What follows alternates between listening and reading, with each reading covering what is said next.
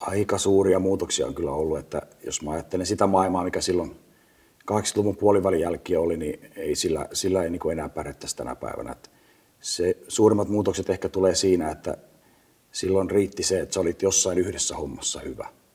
Ja sä teit sitä yhtä hommaa niin hyvin kuin osasit ja olit siinä ehkä pro ja se riitti, mutta tänä päivänä se ei enää riitä.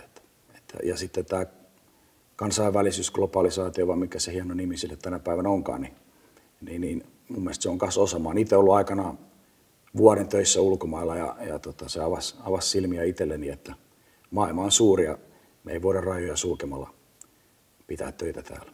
Koska mä uskon, että kuitenkin suurin osa meistä suomalaisista jossain siellä takaraivossa haluaisi käydä jossain ulkomailla vähän kokeilemassa siipiä.